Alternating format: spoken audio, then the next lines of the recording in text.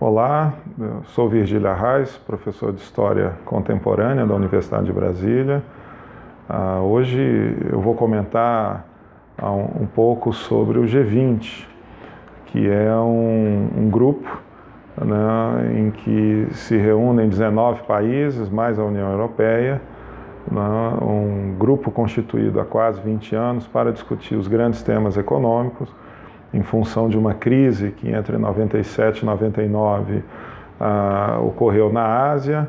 na Rússia e atingiu até o nosso próprio país, né, e que em 2008, em função de uma nova crise, agora iniciada nos Estados Unidos,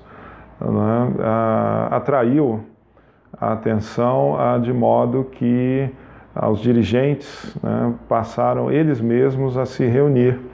né, não só os presidentes de Banco Central, os ministros da Fazenda, Indústria e Comércio ou Planejamento. Então, já há quase 10 anos, os presidentes e primeiros ministros se reúnem né, de forma ah, que eles possam chegar a um consenso, agora já não para sair da crise, mas para intensificar a retomada do crescimento. Nesse sentido, o Brasil se beneficiaria porque China, União Europeia, Estados Unidos, são grandes compradores ah, daquilo que o Brasil tem se dedicado já há muitas décadas, né, o chamado agronegócio. Ah, dessa maneira, o que for, digamos, ah, decidido e anunciado ao mundo ah, na China dentro de alguns dias,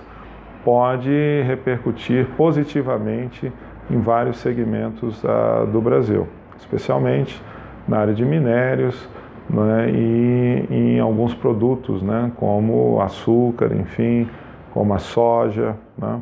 Então, o mundo aguarda né, que os países ah, reunidos tomem a decisão de valorizar mais ah, o crescimento para os próximos anos.